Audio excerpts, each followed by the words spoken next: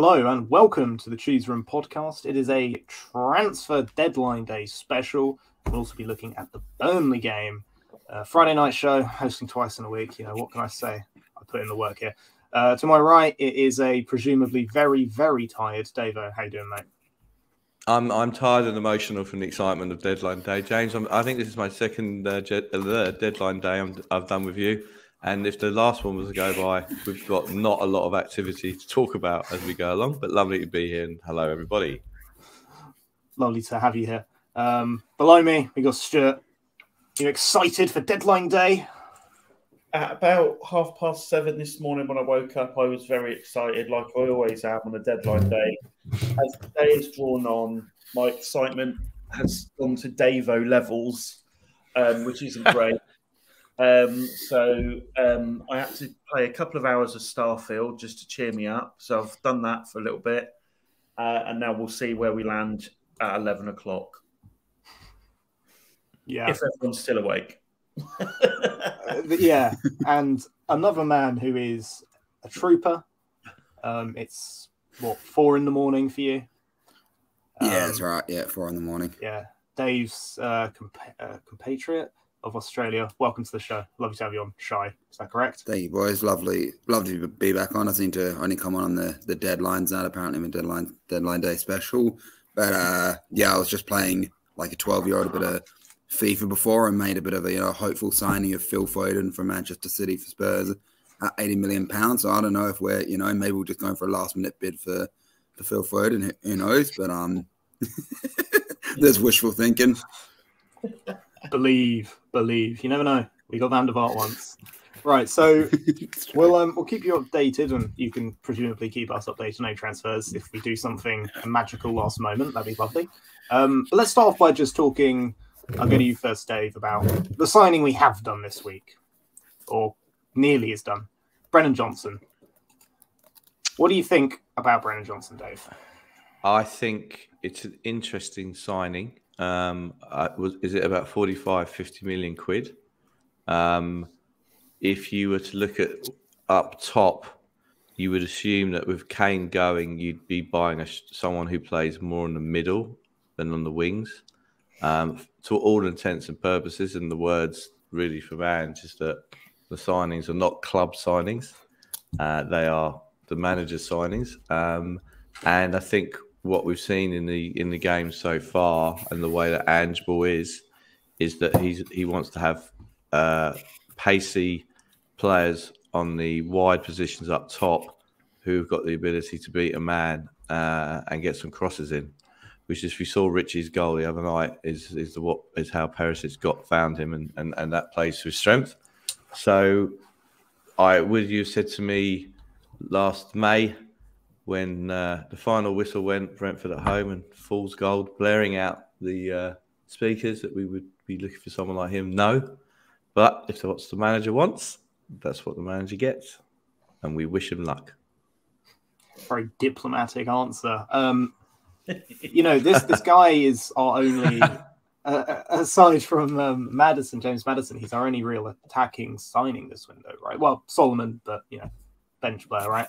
Um, this is on. that's three though. yeah, well, Maddison plays in the midfield. Uh, the point is, like, he is the marquee attacking signing after we sold our greatest ever goal scorer, right? Yeah. So, okay, you shy. Like, is this enough attacking reinforcement considering Harry Kane's gone? Um, I mean, look, I'm a little bit not like anywhere near as funny, but I'm kind of a bit like Flav from like I don't know if people watch Fighting Cock podcast and that where like I mainly watch football for Spurs. So, in terms of like actually, do I know that much about this guy? Not really. Did I jump on YouTube and do like a bit of a five minute, let's see all his goals and attacking press and everything the other day? Yes. Um, so, like, I haven't seen too much of him, but what I've seen and what I did, you know, from like a kind of 10 minute YouTube clip and that with it, he looks like he's got pace. Um, looks like he'll bring something dynamic attacking to the team. I think I don't think we're not we're never going to get a Kane for Kane like replace like like for like replacement. I think we can try go out there and try and sign any striker in the world. But if you look at our history of signing strikers between Robert, you know, Soldado and Vincent Janssen, we don't seem to you know exactly have the best luck with uh, trying. You know, we can take the thirty goal players from other leagues and and that. So I think you know we've kind of done better with the you know look at our history in that with it recently. Kulusevski, um, you know, Sonny. I think we we've done well with turning like attacking wingers into like you know goal scoring. You know, Kulusevski in his first you know six, three months of the club was he had more, more goal contributions than like anyone in the first you know 10 games or something so i think if we can you know do that with him then that there's a player in him clearly did well for you know forest last year um is he he's english he's like homegrown as well isn't he or, That's homegrown yeah yeah he's homegrown yeah because he's, he's, yeah he's welsh he's welsh mm.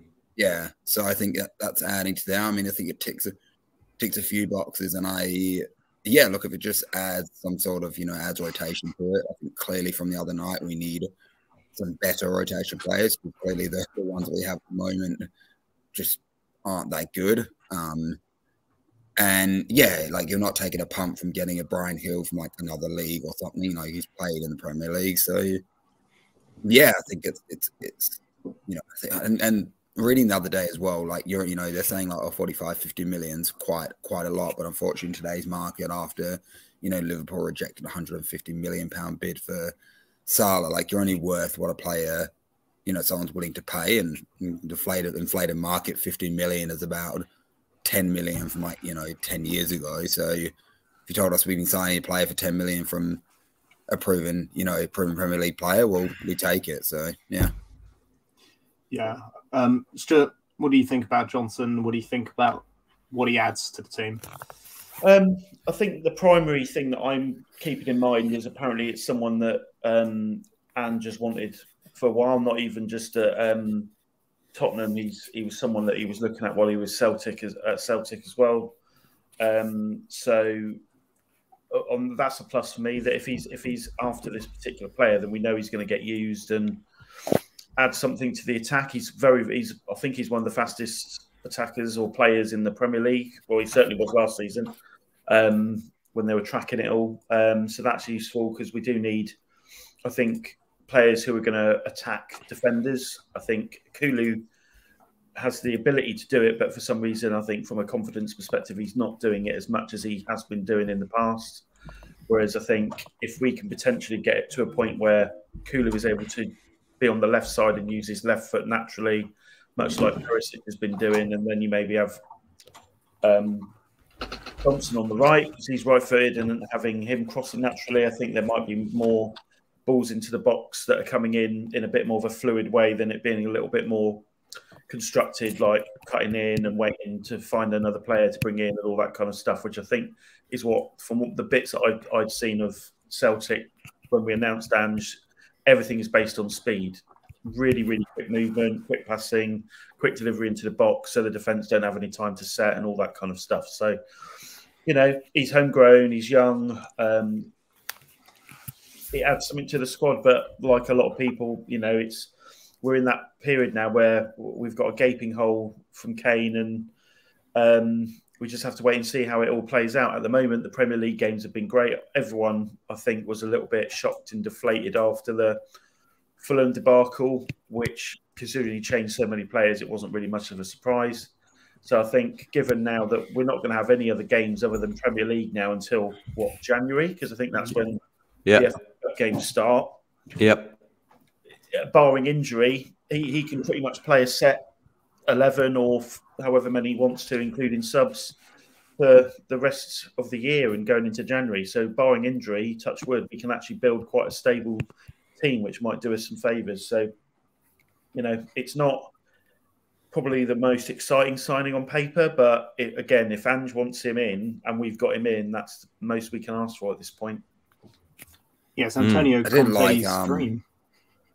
I did like the fact that Ange basically turned around and didn't deflect. You know, he said earlier in the press conference that it's like, you know, any signing that we get in is a signing that I want. Like Conte did the whole it's a club signing thing.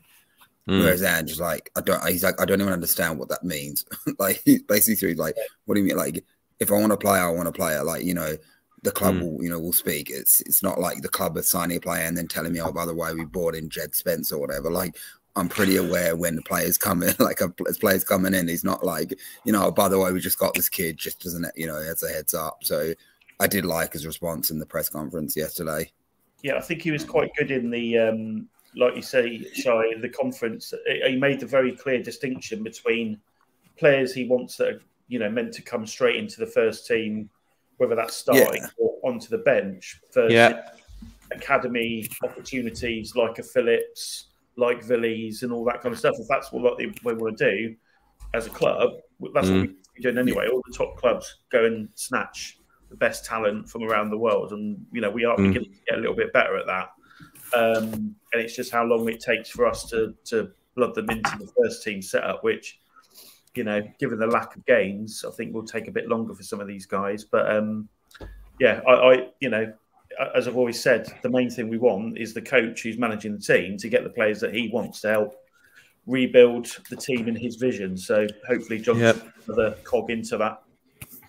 Yeah, I, I mean, on the, on the youngsters' point, you can argue that Sarr and Destiny are the two young hopefuls that we've bought that touch of wood so far look like uh, the real deal because I think that um, previously to that, I'd go so far as back as Dele Alli was the last time we bought someone who is a youngster, uh, someone that we can uh, develop, right?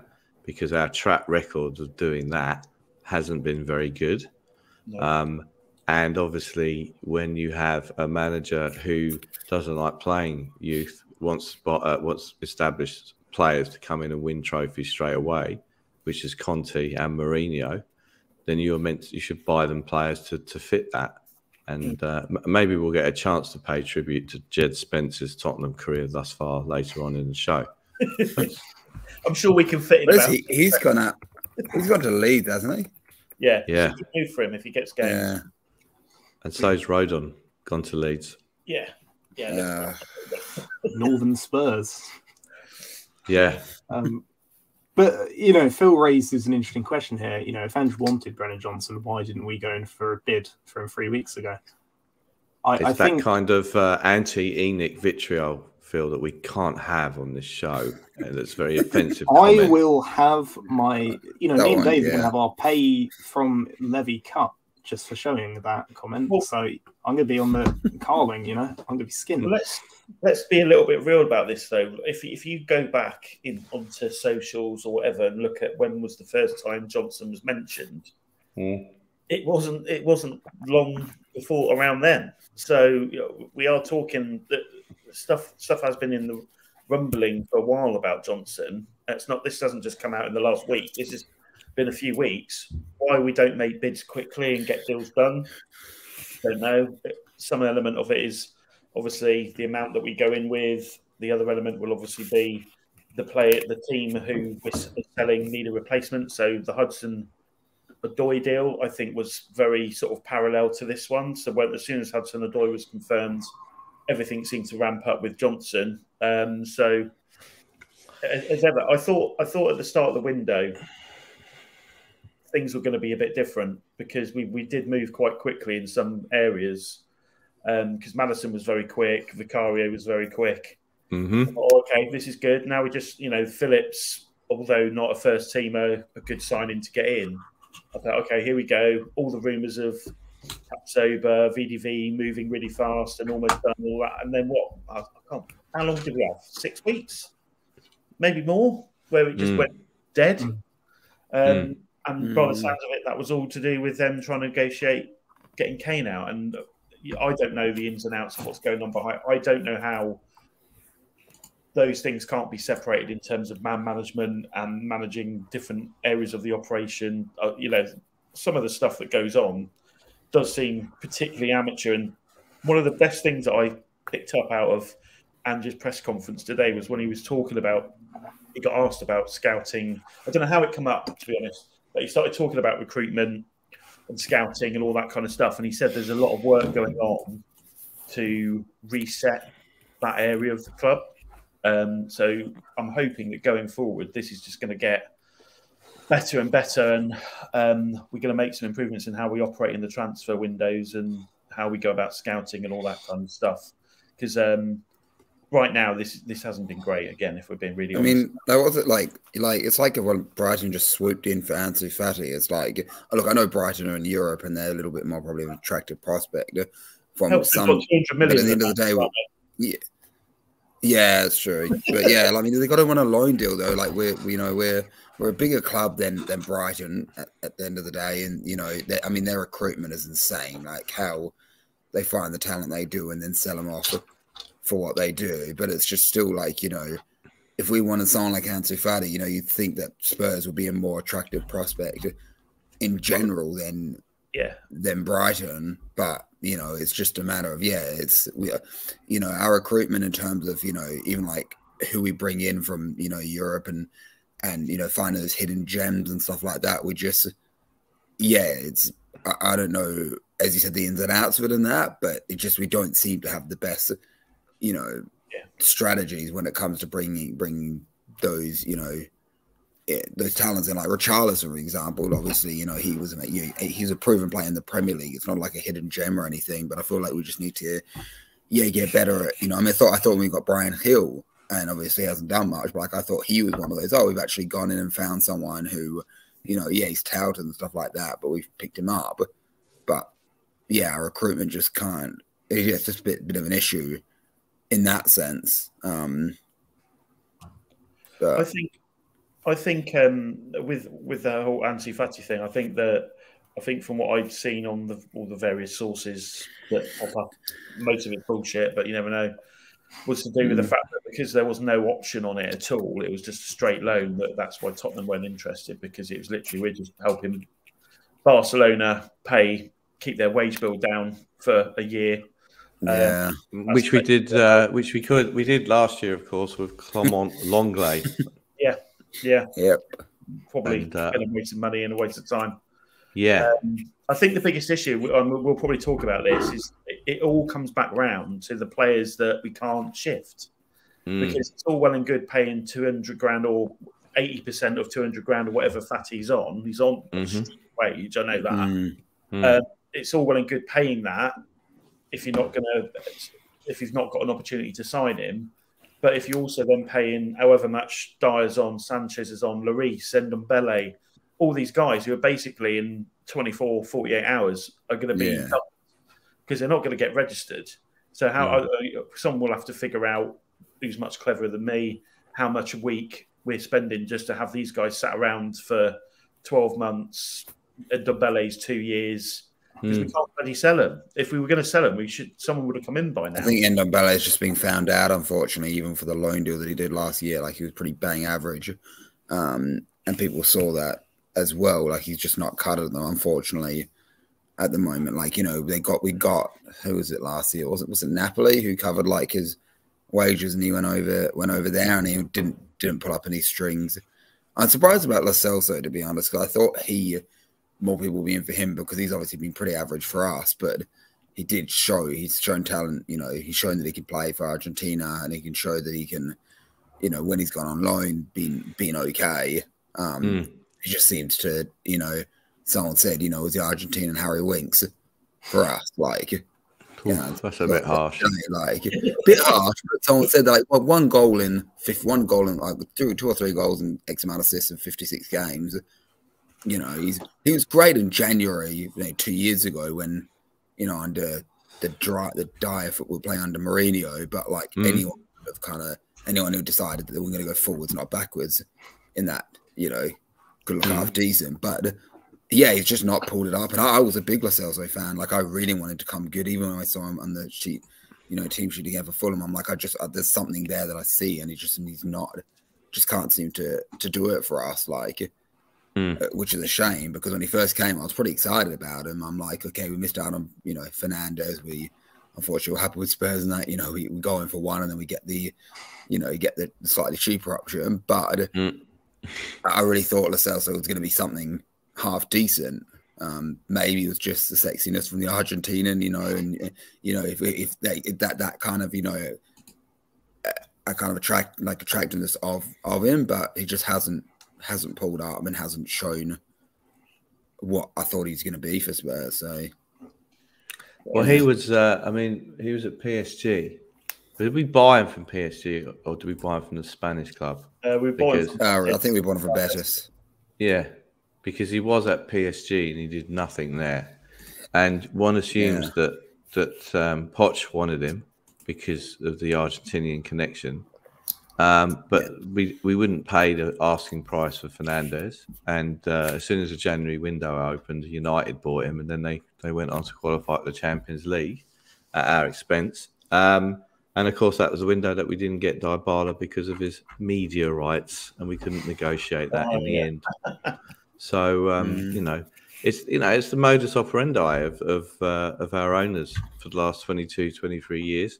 They like doing the last minute deals, where I think Daniel, sorry, as I like to call him, Coy's data or data Dan gets excited or got excited, is that when he sold those three players to uh, Portsmouth in January 06, uh, Mendes, Pamarot, and Sean Davis for about seven million quid, and ever since then he thinks it's like uh, it's like his property deals, isn't it? So I think the fact that uh, Hudson Odoi went to Forest and Johnson's going to us, it's just like a conveyancing transaction. So it should be really more up down Coy's data down street to do these things earlier. But hey ho. Um, but that's just what we do. I mean, and I always where I think we do better is if we get players in earlier in the like in the window, more opportunity for them to uh, bed in, especially with a new coach. And of course, this is our fifth season running with a new coach each season.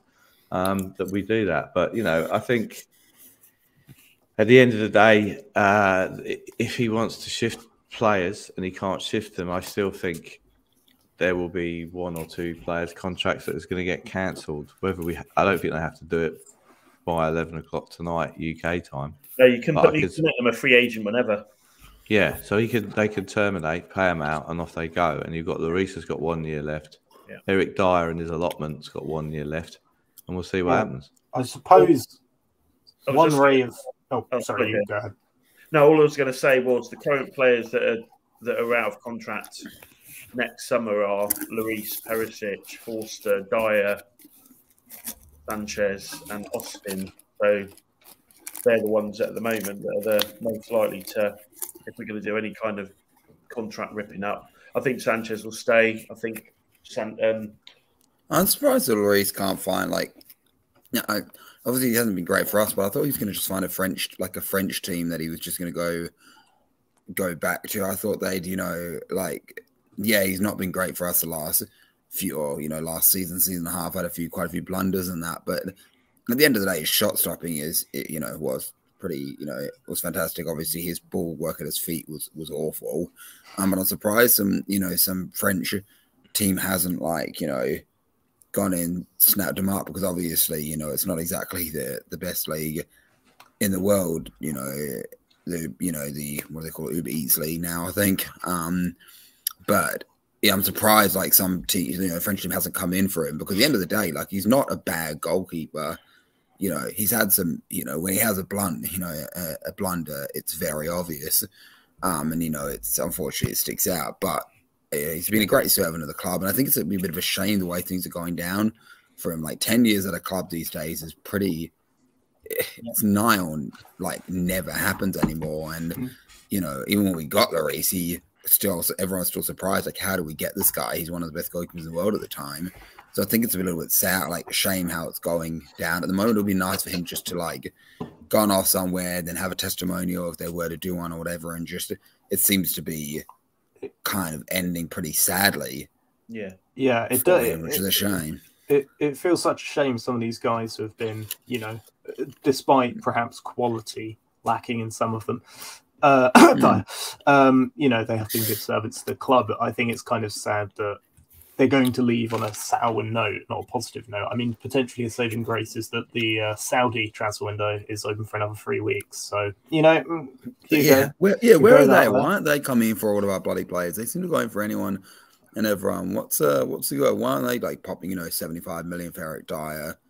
or you know, like- you know, or just take just take them off our hands now. they're not. They're rich. Yeah. They're not stupid. um, can I yeah, just it's true. just- Although although they did just put a hundred and fifty million pound bid in for Exactly. Salah with a one year one year left on his contract. Yeah. So yeah, but he's good. um, no, he's amazing, but like that's a lot of money. Yeah, I just wanted to say a couple of things because I'm, I'm keeping an eye on Twitter while while we're on. Um, going to your point, Shay, about um, a team coming in for Lloris. Um, Nice have just let Schmeichel go. They've terminated his contract. Um, Right. And he was their number one keeper. So, um, if Lloris Interesting. number one position somewhere, then that might be one of the opportunities he gets. So, unless we do a deal really, really quickly, I wouldn't be surprised if we let him. We terminate Lloris's contract, and then he's got the. Do you think he's going to get a testimonial? Is that still a thing these days? Or like, is it a bit of a a dead- dead in the water thing? I can't remember the last testimonial the club did. Ledley King. Yeah, probably that. Yeah. Yeah. Or- Which team? Which team of yesteryear will they bring back to uh, to pay tribute to Gareth, Hugo Gareth Lloris? Bale. Yeah, we'll do the Mourinho. Bring back Bale for a third time. the Mourinho League Cup final that he never got to do. Team that would be These- fun, wouldn't it? Well, the problem with the League Cup runners up of a couple of years ago versus the current team is that there's a certain percentages are still there. So who are they going to pay for? Yeah, that's a good point. You know, you've got Sonny, you've got uh, Ben Davies, Dier. They're all still Yeah. knocking around. Yeah, the core of the sport. Yeah. Back in the, you know, I'm so old enough to remember that in the good old days, what we used to do is sell a truckload of players to Norwich every summer. But even they don't seem to be that interested anymore. We sold a truckload to them. And Portsmouth, there's this. I mean, Coy's data Yeah, down would have loved. They would have loved the big. I mean, I talked about it before, but there was a big old spreadsheet going on between Portsmouth and Tottenham because you had those three I talked about. Then Younes Kaboul, I think, went backwards and forwards about five times. Yeah. Yeah, And, Jermaine uh, Defoe as well. Kevin the Prince Boateng, I think he went there from us, and uh, and obviously uh, Harry deadline day deal Redknapp as well. We had to pay some some compo he there. served well on deadline days when he was at the club and when he wasn't because he bought Yes. all the players we didn't want. That's right. So that's we- so Portsmouth. I think Dane Scarlett went there last year, didn't he? But Yeah, he it doesn't did, seem yeah. to be. Yeah, Yeah. we, we should we should be doing more. Terry Fenwick, we told him there. Gary Stevens. I'm I'm going old again. So that's not there anymore. We need to find those clubs that are, are willing to uh, take our rubbish. Yeah, that's what we need. Um, Mm. I'm just reading. Unfortunately, uh, the markets are so inflated these days as well. Like, even Yeah. those clubs are like, you know, have to put in 20 million pound bids when they would normally put in like a million. Hmm. Kind of thing. It's just, yeah. yeah, championship clubs are really struggling because it's not just like being able to buy decent players, which most of the teams can't. It's even more difficult because they can't afford the wages even of some of these academy players now are on crazy money and they can't afford even those wages. So um, I've just seen that apparently the deal for Tosin Adarabioyo to Monaco is off. So at the moment he's not going anywhere. So maybe we, there might be a late push for him again if he wants out of Fulham. Um, so that's another one to keep an eye on. A couple of hours. Yeah, I mean, it, I think the core worry, and everyone correct me if I'm wrong, is we've signed one centre back when it looks like well, we've technically signed two, but one's a youth prospect. We signed one, you know, first team centre back. We've uh, it looks like Dier's going to be out the door or sat on his own with no mates, you know, at the club. Um, you know, we, I think pretty much all of us said at the beginning of the window we need two centre backs, and Mm. uh, someone commented earlier, um, has Tapsoba been uh, disappeared? You know, it looks like we're only going to get one. You know, is this an intrinsic failure, uh, uh, this transfer window, to only sign one centre back? Open question. Anyone can answer. Yeah, I, I think so, yeah. I mean, I've been listening a lot, and you know, as I said, and the fact that Sanchez is out is, you know, if, if one injury we get and Sanchez is back in, as we saw him, you know, I'm not a big like, I, you know, I do have sympathy for Sanchez. Like, I feel like he has a lot of stick, and he's pretty average. He has been, but like, I do feel, you know, feel the amount of sticking that he gets. But the point is, though, the fact that he's still four seasons on, five seasons on, the fact that he's going to be our next backup, you know, his central defender, it's an issue. Like, Yeah. yeah, yeah, done well with getting Van der Ven. He's looked, you know, he's looked quality, settled in straight away. Um, you know, him and Romero, but the problem is, it's and the way I guess the high intensity football we're playing, we're bound for more injuries. He, this time, obviously, there's less pressure on the defense because we're playing more attacking football, but you know, it's still high intensity, so you know, injuries are probably more more likely. Um, Yeah, yeah, I think we do. For Fulham, um, the issue is everyone knows that we're desperate for a defender as well, and that's a problem. So trying to get a play, trying to get a defender. The fact is, you know, it's showed clearly that we need one, and and you know, again, clubs aren't stupid. They're going to look around and go, Spurs are desperate for a defender. To apply a defender that's worth 20 million to a club, they're going to suddenly slap on 40 million. And, you know, if, the fact they've seen that that we've got defenders in the club that we can't get rid of for like the last five, six years, clubs aren't aren't stupid as much as we, you know, we hope, oh, why can't we just get them?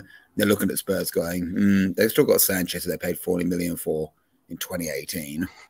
You know, mm. they, they need defenders. They're going to put price tags on higher price tags and it becomes a bidding war. So, uh, yeah, that's that's that's a problem. I think I think I, I, think we need to try and focus uh, again the youth as well. I don't know how much it is, but do we have any in our academy in that? that we, I mean, again, not being Nathan Sanchez, but surely somehow, uh, you know, academy defenders who are you know, under 19s, under 21s can't be that much worse than than our backups at the moment. Like just to give them a go because we can't go out and get a defender because it's going to cost us 70 million for what we should be paying 30. Bring someone up from the youth. I don't know enough about the youth team and. I don't follow as much under 21s. I know they're doing pretty well. I think they're top of top of the under 21s Premier League. I think they slapped Man City the other night or something. But surely they, you know, why are we not just giving these younger players a, a bit of a go?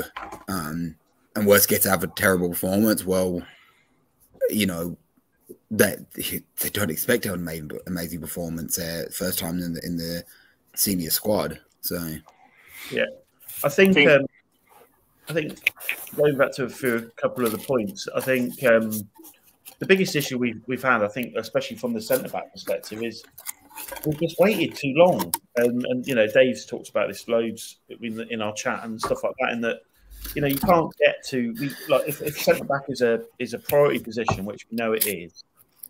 How are we leaving it until the last day of the window to try and, or even the day before when we, you know, all these links with this Lloyd, Ke- Lloyd Kelly came in? So okay, fair enough. If he's target, great. Why have we not gone for him a month ago?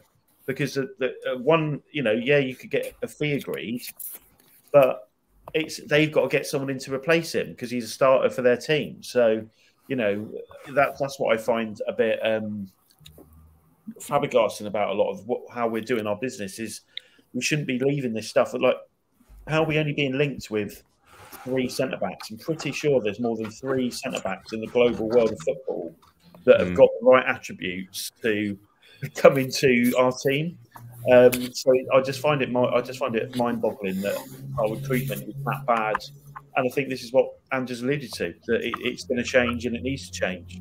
And um, this is proof yet again that it just is nowhere near good enough. We should have like ten odd targets on the go, and then we just boss through each one of them. Every single one of those targets can work for the team. Who who is actually doing our deal? Obviously, you know, you got Paratici, who's technically in jail, but also not in jail because he's still around doing his thing. Like I don't know, but like Scott Munn obviously is coming as like chief football officer, but who's actually our like taking over Paratici's role per se and getting those deals through? Does anyone know, or do we have I, someone who? Yeah, there's um. So so Paratici yeah, so Paratici brought in uh, a guy called uh, Gabbiadini, and um, you had the other guy who was at Everton. He left. Um, so you have a situation where you've got him. Scott Munn was spotted at uh, City Airport with Coy's day to Dan as they were going to find a new coach. Yeah. And then apparently City uh, were not happy about the fact that he is meant to be on gardening leave still. And I think that the way it's structured is that he has to be on gardening leave for at least this transfer window. So okay. he's not he's not although he's been seen at games. Apparently, he's not meant to be involved. Paratici turned up mysteriously at Brentford, as you do on a Saturday afternoon. You know, I know he, he's left. He resigned, and uh, and he's mysteriously appeared at Brentford and we so hope so happens to be playing a game of football there.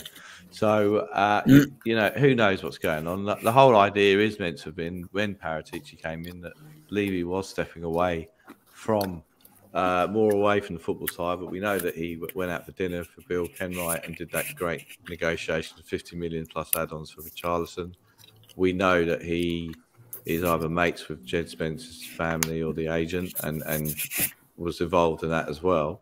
So he still does get involved, and uh, you know, the wishes of for, for, a lot of fans is that he steps away completely from the football side. Well, let's say that not... after this window, then, right? Yeah, but they, with Scott Munn. Yeah, but this is this is the latest new start and new structure that we've had in in 22 odd years. I think we're on to our 18th new structure mm. or whatever it is. So we'll see what happens. But yeah. um, you know, I think that you know the weaknesses that we haven't addressed are the centre backs. Uh, I still think we have a weakness up top. I, am not hmm. convinced mm. about Kulu. I'm not convinced about Son. Sorry, I think he's on the down, and I'm not convinced, uh, obviously, about Richarlison. So we'll have to wait and see. I think where we've really strengthened or where we look a lot better is in the, is the midfield three. Middle of the field, yeah. Yeah. And we've got Ben to come still back from injury. So. Yes. Uh, it's crazy that our best midfield, oh, our best midfielder last season, now is not necessarily assured a place in our midfield three, which I think yeah. how much better our midfield's gotten. I mean, you look at Sarr, Bissouma, and I take it. Guys, I take it you're not talking about Højbjerg there, James. No, um, and those two guys were here last season, which you know that's crazy. Um, I think so, some of our players also, sorry, on like shifting players, have a bit of a like, bit of a god complex to them as well. If you look at like Højbjerg, he's like rejected going to Fulham, like literally because he thinks you know he should be playing at a top top club, even though Fulham just beat us on penalties. Like, like, like in a team that he was in. So it's just I know you know I think Lloris was the same thing as well with moving to another club and Dier and I think our players uh you know because Spurs have been put on such a pedestal and come up so far and that there's a little bit of a you know a tall poppy syndrome. Well not tall poppy but like more of a god complex kind of syndrome about you know they, they think they're better than they are. Like Fulham isn't that big it's not I mean, it's not exactly asking for Højbjerg to leave to a League Two team we're asking you know he's a Premier League established team has come in for him and he's like, no, I'm better than that. Or if that's what the rooms are coming out with, who knows if it's true or not. But, you know, found that was shifting those players, even end on Ndombele and that still seems to think that he's good enough to get into any Champions League side. And that's that's how difficulty with shifting these players is obviously it's not up to them fully if they go they've got some sort of say but that's going to be the issue of getting rid of somewhat you know the deadwood per se is that you know we we've unfortunately also you know put them on a bit of a pedestal. You know, he got Ndombele, paid 300 grand a week or 250 or whatever it is. And now suddenly, you know, now it's like, well, you're not good enough, unfortunately. But that psyche kind of thing behind him has gone into his own head that he's he's the greatest thing, and trying to get trying to remove that is a big issue. I, um, I, I I think the issue this applies to pretty much all our Deadwood, right? Um, it's very cushy being at Spurs right? Yeah, that's true. Good salary, living in London, nice facilities. Even if you're not playing, it's quite easy. And you know, I I, I say this to anyone: you're 30, you're 29, right? Are you turning down 80 grand a week to do basically nothing? Yeah, in exchange, I'm not, to, 80, I'm not turning down 80 grand a year to do nothing. In exchange to go to a smaller club where you're going to have to work a lot harder on a lower salary. Fulham are a big mm. club, right? But they wouldn't meet his wage demands. He'd have to work a lot harder, and he'd get yeah, paid less. good point. Why? Why? You know, to some of these guys, I think it just shows how bad the mentality of some of these players is. That they're that mm. unambitious. They'd rather sit on. I. I mean, I get. But then again, nothing. Yeah. But you'd hope a football player would want to be playing football. Yeah, that's why you yeah, get. Yeah, you said you can't get into that. It's like, sorry, it's like the you know the, the Dele Alli coming out and stuff like that. With you know that's you know the the psychological impact of it. You know that's why half these players you know do need you know football psychologists and kind of teach people in their life guiding it because no none of us can understand. You know, I mean, some uh, you know what it's like to be on you know hundred grand a week as a twenty year old. I mean, most of us weren't like you know. like only fifteen dollars an hour as a twenty year old, twenty dollars an hour is you know, it, I like you know, it's like it, it's you, you're telling players are on twenty, you know, a hundred grand a week as a 20 year old and then they get to 25 and that as, as you said like the psychological impact of that is, is huge like it's a very good point that you, you know no sorry you've got to go down to 40 60 grand a week and whatever and actually work hard you're like mm, Actually, no, I don't. Yeah, I mean, and that the, the mentality thing is is is a strong point because if you look at the Fulham game in the week, and it's a common theme, isn't it? Where if you take that many player main players out the team and have all these sort of like squad players coming in all at the same time, and they're all sort of of that mentality where they can't be asked and all that kind of stuff. That's why that's why you get those level of performances. Um, Mm. If you take if you bring in, you know, so when Højbjerg has been coming in in as a sub in the in the league games or another or Sanchez or something like that, and they're surrounded by the rest of the players that are focused, they're doing all right because they ain't got the opportunity to all work together in that sort of lower level of mentality and intensity. And it's just yeah, you bun- bun- bundle them all in together. It's it's a it's a disaster waiting to happen, and and exactly what happened yet again. It's the same result. So. I think I mean I think mentality thing is a massive thing for Ange, and I think he, that's why you know we're seeing a lot of these players who don't have a strong mentality getting sidelined. So it's the same old, same old, you know, players who keep letting us down. But um gonna gonna move on a little bit. Okay, Yeah. so let's let's talk about the outgoings. So the early in the window we had Winks, you know, um, Dave's favourite player, um, and Joe Rodon went out on loan. We've had No, I'm uh, Winks. You, you're mistaking me for Calder. All right. no, I said that just to annoy you. Um, yeah, no, I mean, you know, I'm, I'm, I'm, I'm ambivalent in relation to Winks. I don't have as much hatred for him as others. Um, but we've had two outgoings today. Um, first one, the only one that's actually permanent, it's a loan with an obligation to buy, is Tanganga. mm, So, Mm. bit of a weird one. Never really played much for us. Um, you know, w- I think we agree he wasn't at the required level. But I suppose the easier question is to just go, it's a bit of a shame it didn't work out, isn't it? Mm, mm. Well, I mean, I think one of the peaks of his career was the beginning of two seasons ago when uh, when For we played against City and he kicked Yeah. he kicked Grealish off the park, and uh, and he went off at the end of the game, and and the crowd was singing uh, "He's one of our own" about Japhet Tanganga. A pointed comment to Kane at the time, who was uh, not very happy and playing golf with Gary Neville and talking about going to City. mm, And um, the thing with him is that he's never got a run of games. He's had quite, he's picked up quite a few injuries in his Yeah. time at Tottenham. And, uh, you know, his, his debut was in at the deep end against Liverpool at home. Jose put him in, which is interesting given the narrative is that Jose never blooded the, any youngsters in relation to the first team. he did Uh, well it- at the as well. Yeah. So I think with Japhet, it's a shame because He I also, a- he gone. so I was going to say, Jose also threw on like a 19 year old just to turn around and say, hey, look, that I gave him, or I 17 year old or whatever, to say I gave the youngest debut as well. So, like, Yeah. that was Jose's mentality too. It's like, see, I did, like, but yeah. Like, Yeah, and I think that at the end of the day, he um, look he he's never had a run of games due to injury. Um, I think his Mhm. distribution is pretty poor. Mm. Um, there was a school of thought that he might th- thrive under Ange in terms of the way that Ange ball is, in terms of you know tough tackling tackling defender, not maybe uh, you know required to be that smooth in distribution, but he's not made it. There's been enough managers who've looked at him and uh, decided not to go forward. So uh, we wish him the best of luck, and, and we put him in the uh, in the Central Defenders Hall of Fame with Guy Butters, uh, Vlad Chiriches, Alton Thelwell, and Chris Perry.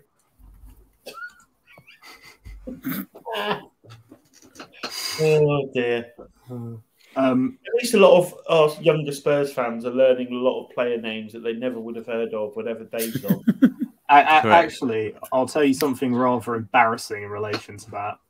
So last time, I don't think it was last time. No, when me and my dad went to, I think it was against Morecambe. Yeah, it was. You've heard my infamous rant about a certain individual in the uh, match one that day. Um, And we don't need to hear it again. No, no, no, no, no, no. This is a different story. Um, I've said my piece on that particular individual. Um, Diver, um, everyone's favourite um, wine reviewer, uh, brought us down to like the tunnel where the players come out, and you know met Lloris, yeah, yeah, had a photo of him, and then me and my dad had a photo with uh, Gary Mabbutt. I didn't know who he was. And I was like, uh, I don't know who this old guy is. And he was like, oh, he's like a Spurs legend. I was like, oh, okay. I look him up. It's like, oh, okay, yeah, he actually is. But there you go. That's that's the youth for us. But that is the trouble mm-hmm. with the youth today, and I don't wish to sound like some kind of Daily Mail reader, all right. But you know, when, when I was going at your age, and it's it's like Danny Blanchflower turned up or something like that, or Pat Jennings, I'd know who they are because as as the song goes, if you know your history, and you know you can't just when, when you meet the legends, when Diver the Fiver brings you into the Hallows Tunnel Club, right, for a bit of lobster mornay and some champagne, you got and the legends are there. You got to know. We've had legends on like Micky Hazard on. The love is the love, and the history is the history. Yeah, the club doesn't exist without that. So, if you walk down the hmm. street in in Perth, let's say Shy once once the sun goes up and he's finished his Pringles, he walks down the high street and he sees Ringo Starr or Paul McCartney. He's not going to go. I, I wasn't around when the Beatles were around. No, he will recognise them. And James, it's something for you to reflect and ponder on as you well, go through the weekend? I'd rec- I'd recognize Robert Smith, right? So, okay. well, there you go.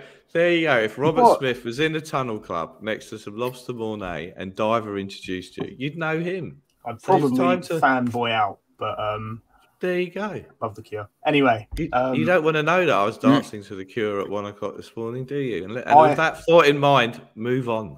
I'm just gonna say, yeah. Anyway, there was a little anecdote I thought I'd bring up. Um, so another outgoing, an interesting one, breaking Daniel Levy's cardinal golden rule about Ooh. not giving players to rivals.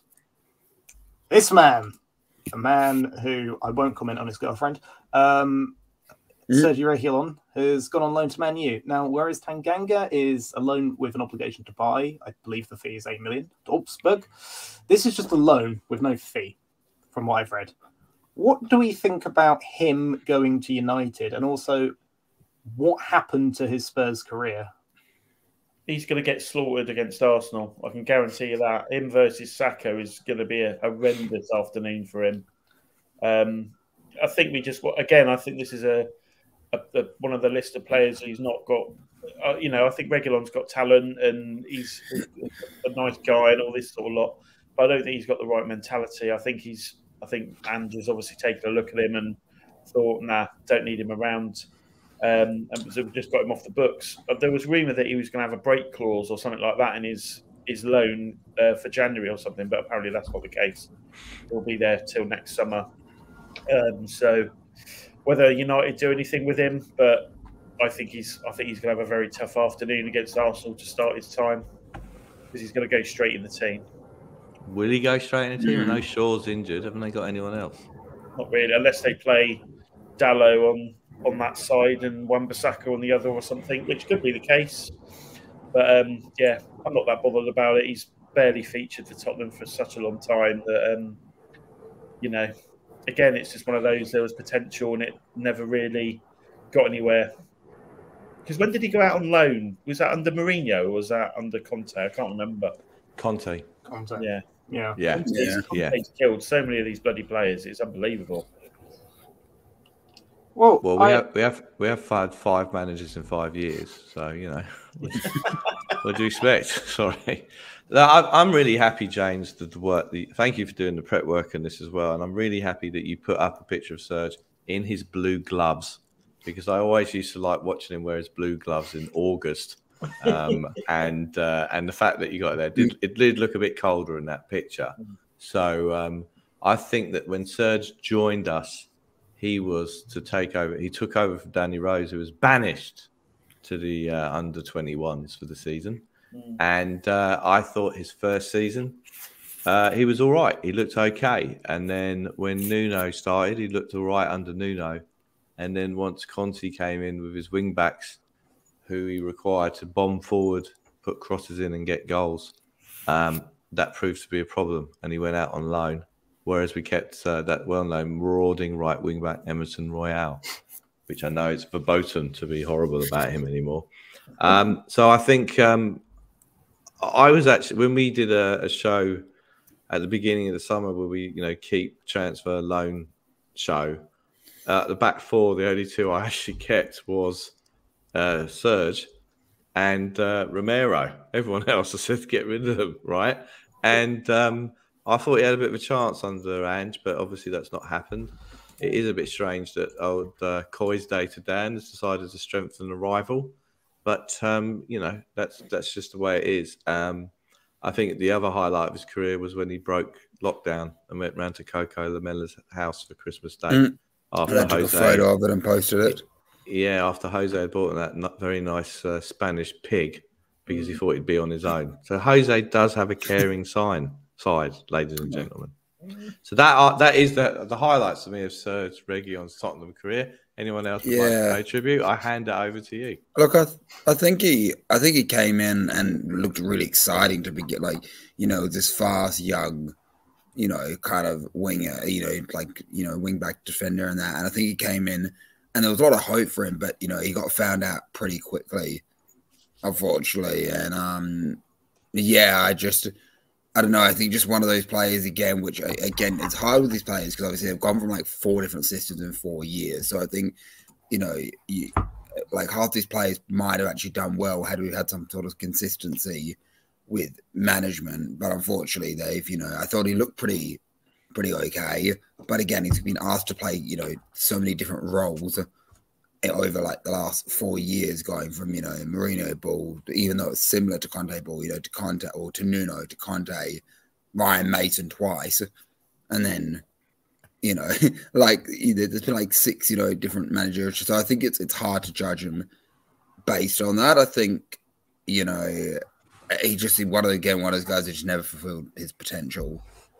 Like yeah. with us, I think he was quite exciting and looked quite exciting, young coming in and that, but again, just got found out too quickly when the pressure was put because you know we had to absorb so much pressure um, throughout the last few years playing under Conte and, and Mourinho. Um, I think had we have had just one man, you know, had he been under Poch for four years and that, like who I don't think he would have been. You know, I don't think Danny Rose or Kyle, or Kyle Walker, a story, but you know, Danny Rose would have probably looked half as good as he did if he didn't have the consistency under you know Pochettino. So it's kind of it's kind of hard to to judge what what actually happened, what would have been at the end of the day. Um, he obviously didn't fulfill his potential, but maybe under consistent management for three years, he might have turned out to be a pretty decent backup or pretty decent, pretty decent player for us. But yeah, yeah he's unfortunately one of the one of the other ones. Who... Well, the consistent theme a lot of through a lot of what we're talking about is that the amount of managerial and system changes over the last well since Poch left. It's caused chaos. Mm. It's caused chaos in the recruitment. It's caused chaos in the type of players that we have in the squad or what they're able or not able to do. And this is just the mess we've been left with. Like I, I was right. Can I just comment on Kerry thing and that? No, Kerry, it's it's four o'clock in the morning or five o'clock in the morning in Australia, and I'm out the back of my sister's place, going moving into a rental that I've been looking for like five months in the rental market. So no, I haven't forgot to pay my electricity bill.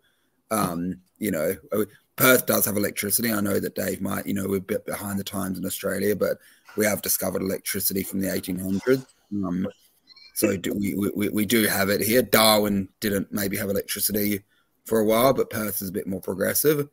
Um, so yeah, I, I'm not paying my sister's electricity bill either. Um, and yeah, confident asks a lot of bloody questions. I don't watch bloody footy. It's shit. Sorry, Cameron. In, watch the, I, watch the, I watch the real football. In my defense, I sit in a dark room and I have a webcam light. You can see me. It's 10 o'clock at night. I was, yeah, I was just going for the James theme. I've seen a lot on the cheese room, and I was just go. You know, I wanted to you know, go for that dark theme. That uh, yeah, I mean, like whereas I, whereas in Sydney, where the sun shines forever on golden streets, I bring the sun rising for every show. That's as yeah, per my sunny, yeah, yeah, as per you, my sunny disp, disp, whatever, disp, whatever you pay, you pay, disposition. You pay, you pay for that too in Sydney as well. All right, that's sun, I, I, pay for the sun. Yeah, the sun's very expensive. I mean, everything everything's expensive in Sydney, to be honest. Absolutely, and apparently with the most unfriendly bunch of people in Australia, according to everyone outside of Sydney. So I'm very at home here. Oh, my ex is from Sydney. I like Sydney. They've Oh, got, there a, they've got go. a place in my heart. Hmm. Ah. Anyway, Move on. moving on. Um, I was going to make a joke and then no. Um, so Go, I want to hear it, James. no, no, no, no, no, no. I was going to say usually uh, cities my exes are from. I usually hate that city. Anyway, um, so you know, been a few rumours about because apparently Tap Sober doesn't exist anymore. Nope. Floating around about who we're looking at as a centre back option for cover. Hmm.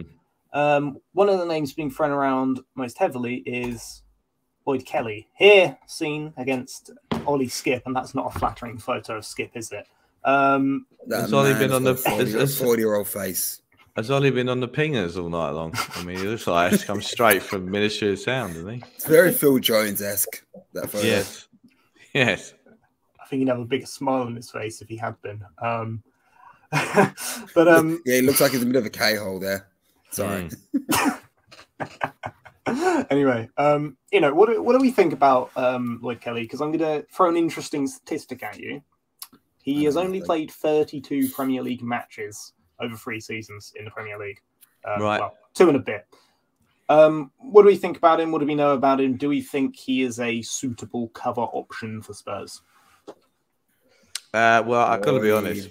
You know, I think you know, as as I said, when uh, when uh, Coy's data Dan uh, put on his DJ uh, headphones and, play, and boomed out "Fool's Gold" by the Stone Roses at the end of the Brentford game, I didn't think to myself, Lloyd Kelly is the answer.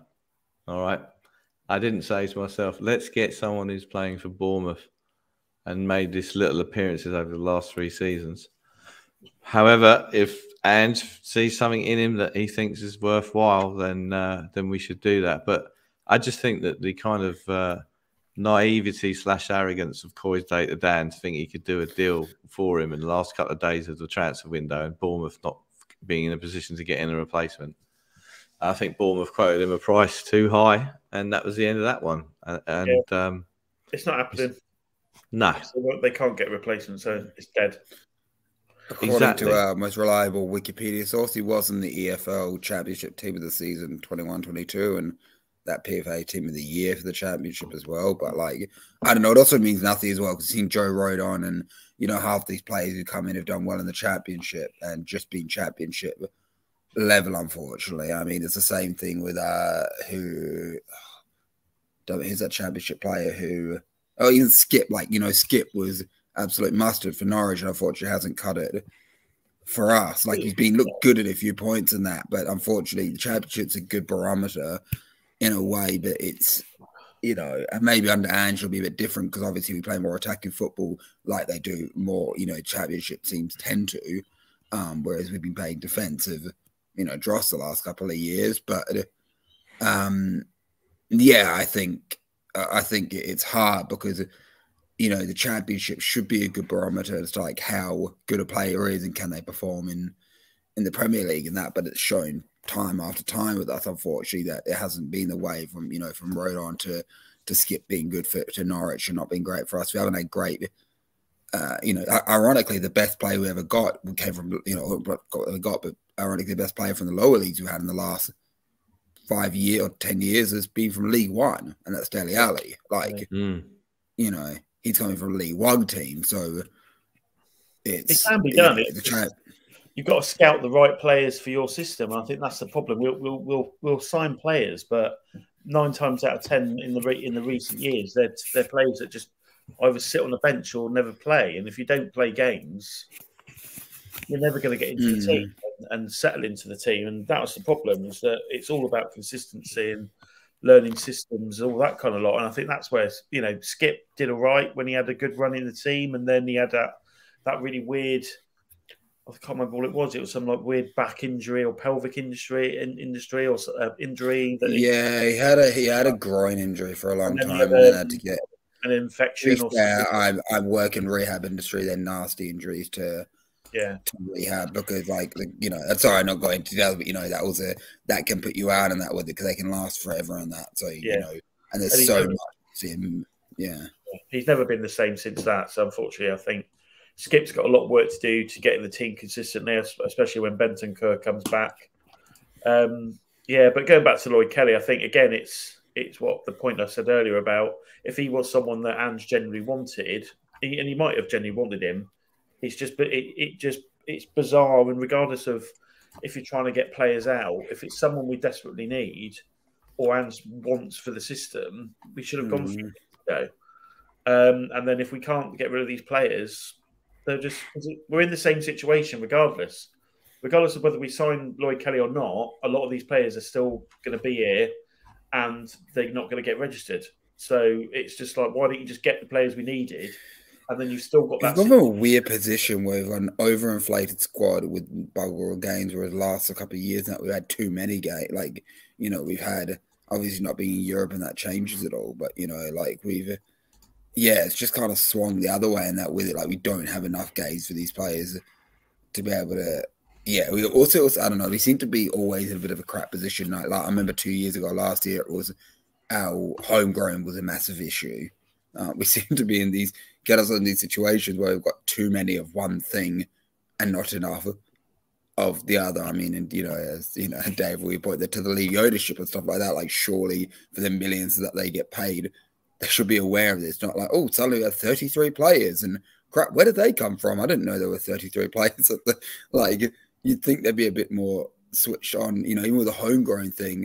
It was like, oh crap, we don't have enough homegrown. It's like it's a pretty basic rule as to, mm. you hmm. know, yeah, yeah. It's just we seem to get into, into these weird positions where it's kind of like, oh, wait, we've got 33 players registered, and you know we can only have 20. It's like where are these, you know, people who are getting paid the millions to basically turn around and go, no, really, we can only have 25. We've got 33. It's, I know that it's not easy just to cut and get rid. It's not football manager, but again, they're getting paid millions and it's not exactly, it's, it's, a, it's numbers they're dealing with. So it's just a surprise we get ourselves in these weird positions. Um, yeah. And again, this is, it's all the same, it's all the same things coming up because you know, we, have known about the issue of the overinflated squad for at least a year because we had 11 players out on loan mm. last season. Yeah. We had a whole first team out on loan. Um, and, you know, if if we had the consistent management, you would probably plan to say, right, okay, for the last year, we'll get rid, we'll figure out how we're going to get rid of the players that that particular manager doesn't want because you know he doesn't want them. But because mm-hmm. we've got rid of Conte and then we've had two different temporary managing in since then, and then you don't know who the new manager is, you're not just going to go and sell a load of assets that, that that manager might want. And we didn't know who the manager was going to be straight away anyway. And then obviously Anne just wanted to have a look at some of these players as well, which drags everything on. So it's just this summer I, have I've said for a long time. This summer I felt was always going to be as soon as Conte went. I've said that this summer was going to be an absolute mess because we've got. Well, Chelsea pre Boehly, like, what did they have? Like 45 players. They had like seven first team squads out on loan around. We kind of need to like follow what, whatever the hell they were doing. They literally had like 45 players at one point, I think, out well, on they've loan. signed 25 players all... alone. But their squad, yeah. Is, their squad is massive. I don't know but what like, before.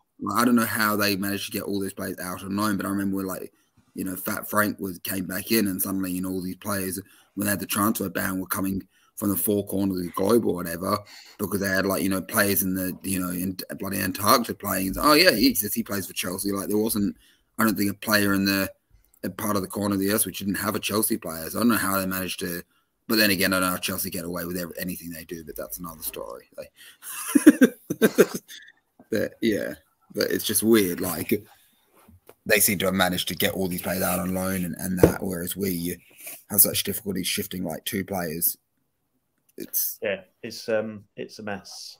I yeah, I it does stagger me how we can't move on some of this dead wood. You know, it does feel as if it is too cushy for them at Spurs, and if we're overvaluing them a little bit, perhaps. But um, it, it is a fun one for everyone. Okay, mm-hmm. just to add some joy. So this is every deadline day signing, or every notable one, we've done since 2002. I'll leave up there so you can have a little look. Mm. Who of these do you mm. think was the best? And I don't even need Brennan... to do. well, no, no, no. Let's, let's let's have a top three, And then where do you think Brennan Johnson currently ranks in levels of excitement to these? So th- th- this is actually announced and bought on deadline day. Yeah. Yeah. Have they just ordered the top three in order? Because I, I mean, there's maybe one at the top and that with it, but I feel like the top, the, the best three are kind of grouped together. If anyone can guess who, like, Are you talking about uh, uh, Gregor Rasiak, Steed Malbranque, and Pascal Chimbonda? by any no, I was actually talking about Ryan Sessegnon, Llorente, and and Sergio Aurier, but you're close. Right. Okay. What are you Right. smoking shy? Jesus I'm joking. I'm joking. Ooh. I was talking about Okay, Van der very Van der good. Parker, very good. Van der Vaart Parker, and Lloris. And my, I mean, Yeah. the only other one that I'd probably put in there is is probably Keane. Mm. Squeeze Keane in there, but I think obviously Van der Vaart, you know, was Van der Vaart's number you know. one, hundred percent. yeah number one. I think Hugo as well, as much as you know, as Yeah. much as whatever with you know, not many besides De Gea, and also he had a demise at United as well. There's not many teams in the last.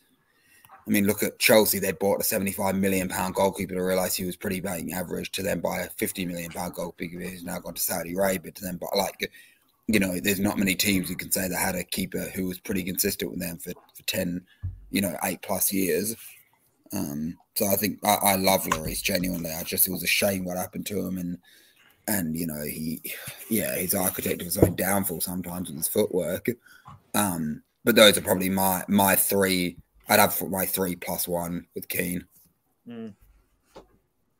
Yeah, no such excitement now with. um I think, like I said, I think what we've talked about, James uh, Johnson is a good player, Mm. and if he's if he's a player that Ange's wanted and targeted, then it's great that we've got him in. Um, Mm. It's just the fact that the the underwhelming element of it isn't necessarily with him. It's the fact that we haven't probably got all the elements in that we should have got, and it's it's all of this has been impacted by a problem that we've known about for a long, long time, and we've not had the sort of creativity or the braveness to solve that problem because there were ways that we can solve it, but it involves spending money that you're not going to ever see again, which the club don't want to do. hmm Yeah, I'd have to agree. I mean, in a vacuum, he's uh, an excellent signing. Like, like I say, I've watched him most for Wales, and I'm a little bit biased in that aspect, but he is a fantastic player. He's like very, very reminiscent of young Aaron Lennon in the sense that he will take on a Mhm. player. He's very confident, but I think he has better end product. hmm Um, and I'm talking from watching Aaron Lennon on YouTube Mm. but he is that kind of profile and he does have good end products and I think he has a very high ceiling. And if Ange likes him, great. I mean, I generally and his recruitment and talent identification is usually quite good.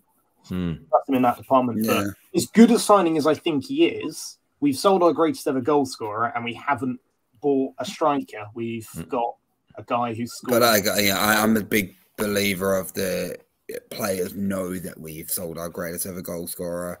Uh, No, sorry, teams know our greatest ever goal scorer, and any player who's worth 50 million to any other team is going to be worth 100 billion to Spurs because they do, you know, the, teams will will slap, you know. So there could have been players who've gone in for that, you know, as much as we think we know with today's social media and and you know, as much as Fabrizio Romano, you know, you know, will come out with everything and anything. There's probably things that we don't know about where they probably inquired about someone and gone, oh, you know, he might be all right. And suddenly, you know, he, if he's a 30 million pound player, they've said to Spurs, well, he's 60 million, 60 million to you. And, Mm. you know, that they know that we've got that, that 100 million pounds. And, and they also know that Levy is obviously one of the biggest pain in the ass, you know, people to deal with in terms of a transfer. So they're gonna, you know, uh, they're gonna do everything and anything to make his life hell, um, because he's gonna make their life hell, like they will. And now they know that we've got that, that, and that's what they always said. They know the minute Kane goes, teams know that Spurs desperately need a striker, that we've got that money, and it's not going to be easy to, you know, to, to get a striker uh, you know, especially with the overinflated and also with the overinflated market we, we're in as well, that whatever we can get, Saudi can give them 50 million more too, which is it's a major problem. Like, Mm. Yeah, it's a huge. Yeah, I mean, I think Yeah, I mean the thing with Kane is what Ange came out with is that he said they, they had a chat with Kane at the start of the summer when he started, and it was understood that he would not he's not signing a new deal and he's off right? If a, if a, if um, if the suitable price came in for Levy's satisfaction, which is the game that was we played with Bayern all summer because there was no market for Kane other than Bayern, and he wasn't going to sell to Man United, although he did loan Serge and his lovely blue gloves to Man United. And I think that if you're going to do that, you should have had something lined up, like we did with Bale. We did a lot of the business before Bale actually went to Real Madrid that summer, right? Yeah. So there's nothing to that stop him out there. that turned out well. It turned out very well because we No, got no, as in not no no not Bale, as in like the players that we had lined up for you know the Magnificent Seven.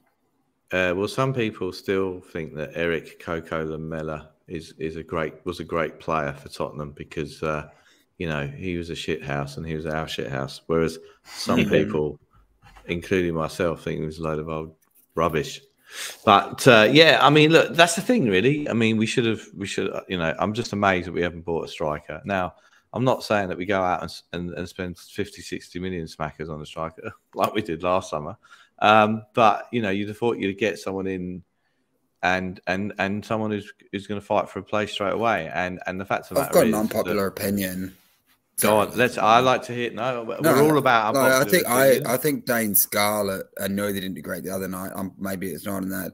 I think that we're gonna push like Ange is gonna get him coming through, and he's gonna be the surprise package, the surprise package of this. I know it's a bit of an unpopular opinion. That maybe he's a bit young and that. with know it, he's but I been loaned out, right? feel- Oh, all right. Well, there's my fucking is it? all right. Well, That might be the case. that's That a- might be the case for next season, mate. But yeah, he's, he's gone next, yeah. All right. Yeah. Fuck. Well, That's the right. problem. But with you yeah, it's told. I told. because that happened. That's happened earlier today here when you were asleep.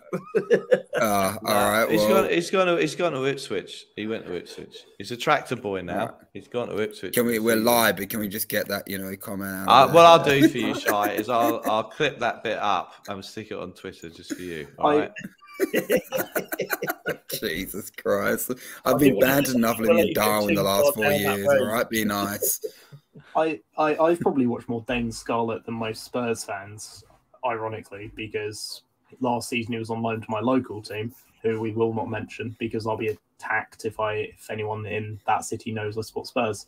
Um, he was like horrifically mismanaged by uh, John Mousinho, the manager. Um, and he, he's obviously talented, but yeah, and he's he needs a season where he's not going to just get substitute appearances and play in like central midfield and out wide mostly. That'd be nice. Right. Um, Mm. but yeah, I mean, maybe give him a year and we'll reevaluate. Hopefully, he gets a good season at Ipswich where he's starting and playing up front. Where is- um, Is Troy Parrott? He's been loaned out again as well. Has he been sold or is he? is He's he gone to. Uh, he's, I think he's gone to a Dutch club, hasn't he? Yeah, it's uh, oh, who was it?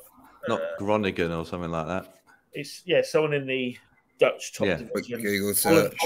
He's playing. He's not a. He's Uh, not eh, a, no, Excel, Excelsior. Excelsior. Excelsior, yeah, that's it. right. Excelsior, So he's yeah. Troy Parrott. How old is he now? Twenty eight or something. No, Uh, 2002. He's still a baby. so he, he- he's missed out there because he could have gone to the Dutch club with the best name ever, Go Ahead Eagles. That's he's only twenty-one. He's twenty one. Yeah, he's How many- pretty. How many loans is this now? Three. He was at Millwall. Wasn't Yeah. he at Ipswich?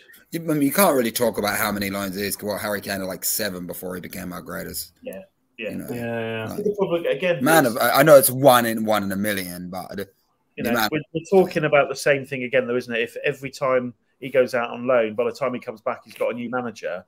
It's just like, how are these guys ever meant to progress? Because there's no stability, there's no consistency in the running of the club at all. Yeah, but this is a uh, new start, though. Don't forget. Yeah, I know. Yeah, this yeah, Is a- this think- is this is the new new era since the last new era, and that's Look, we know that important. these guys aren't going to get games. They're not at the moment. No, I mean, look, he's gone out on loan, and Parrott's gone out on loan. Scarlett's gone out on loan. If we had And- Europe, I think they would have maybe stayed. One or two of them might have stayed, but Yes. we've got so few games. They're just never going to play, are they? Nope. Especially now we've only got the FA Cup left. Yeah. Hmm. Yeah. Um, Go how's Veliz going to develop? Do you know what I mean? It, it, surely Well, it's going to be beneficial for him to go out on a loan. You would have thought because he can't get, even get a work permit, can he? At the moment, Who? oh, right. Veliz. Really? You serious? Yeah. Yeah, no, we, that's why he hasn't been in the squad for us. He can't get a work What is permit. this Which, us and bloody work permits? Wasn't there another player a few years ago who couldn't? I mean, I know like Dybala was the image right thing, but wasn't there another player who couldn't get a work permit as well for us and had that issue? We always seem to have these like I know work was more common, but these like random things where like they just can't. they haven't sorted out, you know, the basic things around getting the player Oh, actually be able to, you know, legally sort allowed it in the out. He was never going to come in and start anyway. He's a, he's a he was a youth signing, wasn't he, Hmm. Veliz? So from Argentina. um, we've given Hugo permission to speak to Nice, so I think he will go. The, Ga- the Gallagher deal was completely off. Conor Gallagher is very much staying at Chelsea. Yeah. I'm fine with that. Have we uh, Um, have we got any other hot updates? Because uh, Um, Yeah. Johnson's signed. Johnson's confirmed. They just haven't officially announced it from the club, but he's that's done deal. what what do you think we're going to do as the welcome kind of video clip on? Is he uh, gonna sh- on the- is he gonna be uh, welcomed by Ben Davies? You know, We don't do anything that excited anymore. We do a very sort of generic, boring. Yeah, just like their stat statistics or whatever, isn't it? They say a little bit, and then that's it. It's very standardised across every single signing. We don't do anything unique because we're not that excited. I still think Doherty. I still think Doherty's one of the, one of the best ones with deleting the Arsenal tweet. Like as much Oh, yeah, as, yeah. as much as he turned out crap and that with it, it was the old, you know, go on and like you know, I hate Spurs or whatever, and just like get rid of oh, That that. And, I mean, I mean, Yeah. Maddison dressed like a lovely khaki outfit that it looked like it was from it Ain't Half Hot Mum from the 1970s, which I know for Shy and James would be what on earth he's talking about. But you know, he looked nice there, and you know, he, you know, that picture of him and his son buying some uh, clobber Yeah. in the Spurs shot, which no doubt Levy's deducted or added onto his first salary.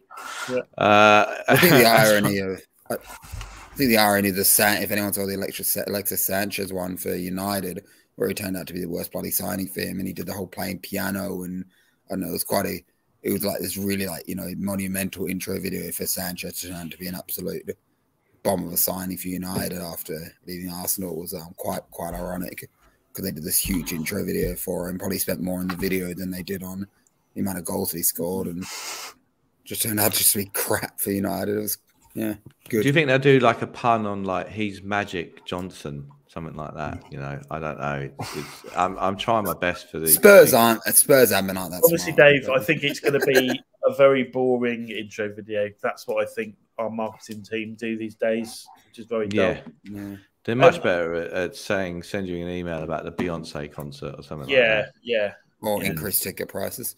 Um, Yes. the interesting thing I wanted to try and look at was um, while we're waiting for the deadline day to slam shut, was um, obviously there's free agents around who can move post post the window shutting, and I've just been looking on uh, Transfermarkt um, just to see who's free agents at the moment, and because we were talking about strikers and the lack of an out and out striker that we feel that we, we do need.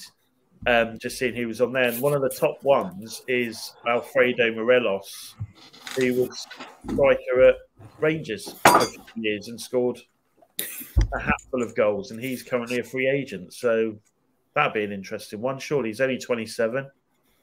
Do you reckon we're going for Leandro Damião again? He's still playing, isn't he?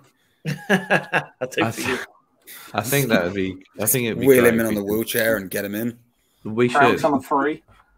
And also Rivaldo, who who who Yeah. wrote a lovely letter saying thank you very much for being interested in me, but I'm going somewhere. Or we else." should just try and try and bring him a Rata so he actually goes for a record number of clubs that he's that he's played for, and you know, like what does he play for? Like 17 clubs, and like Mm. somehow still get sold for like 50, 60 million. I know there was a bit of a rumor as to is he just a you know is he is he just a bit of a sports wash for like you know some sort of other deals that's going on because somehow Morata scores three goals a season and still gets sold for 60 million to every, other, every other club that he goes for. So it's a little bit like, mm. so uh, you know, maybe we'll get There's a surprise couple of package good players out there though that are free agents. So you never know. Mm, Something might occur if we can't get anything in before eleven, which is going to be very unlikely. I can't imagine anything big happening. I, So, so when was the last time we actually bought a free agent after transfer deadline? day? I, I know it's it's part of the the ritual and tradition on a transfer deadline show to talk about free agents and the possibilities there. But when was the last time we actually bought one? Do you got know one the answer, Dave? Just so No, I the haven't got. I ain't got Scooby. No, I can't No. remember. I no. don't think, we, we don't. I'm we looking. don't- I'm looking at all Yeah. our previous which I'm really transfers. surprised about. We, we, we don't seem to be clever in that. Maybe what we'll end up doing is cancelling Ndombele's contract, pay him out, and then get him in on as a free agent. Wasn't it Joe? with Joe? Was Joe Hart? Was he brought in after? Because he was uh, Joe, yeah, that's a good shout. I think. It, I think Joe, but I think Joe Hart. He. I was just looking on our list of transfers and that, and I think Joe Hart. Was he Very good in cricketer. Very good cricketer, Joe Hart. Who can forget? And even let's remember, going back to the old Sir, Serge, he, he took part in the old cricket in the gym. God bless him. Yeah. So, so that's another highlight of Serge's career. We're on to three now. His gloves, a pig, and cricket.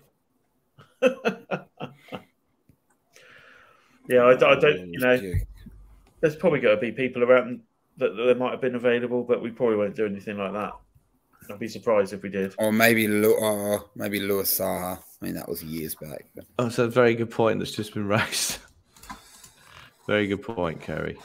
We were just checking that you were on top of things, okay? And of course, Adama Traore went to Fulham this summer, which who Kerry Yeah, has been that was a very funny. Did someone see their announcement video where like they announced that they had baby oil behind him? That's a very funny announcement. They think they, they put him in front of like a bunch of baby oil. Also, it's a very funny announcement by Fulham actually.